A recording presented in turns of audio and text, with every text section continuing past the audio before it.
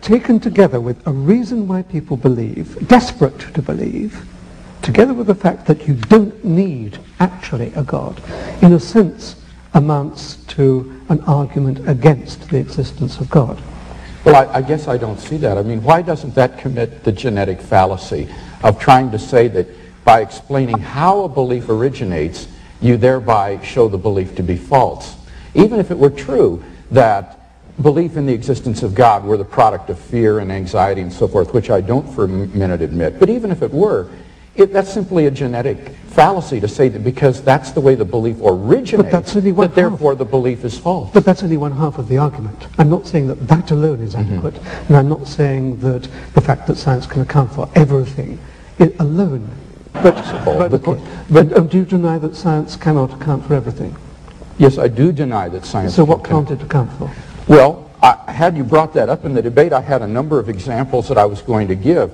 Uh, I think there are a good number of things that cannot be scientifically proven, but that we're all rational to accept. Let, me, list, let me list five.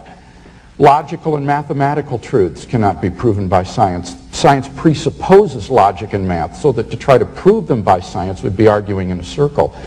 Uh, metaphysical truths, like there are other minds other than my own. Ethical beliefs about statements of value Aesthetic judgments, number four, cannot be accessed by the scientific method. And finally, most remarkably, would be science itself. Science cannot be justified by the scientific method. Science is permeated with unprovable assumptions. That strictly cannot be proven. We simply have to assume that in order to hold to the theory. But you're missing the whole... So put that in your pipe and smoke it. Yeah, okay. Yeah. So okay. we are... Uh, none of these beliefs can be scientifically crazy. Eyes on Hove, I ain't talking about Jay-Z. They be trying to hold me back, can't break me, shake me, empower. A few weeks ago, there was an event here at Dodger Stadium with Joel Osteen.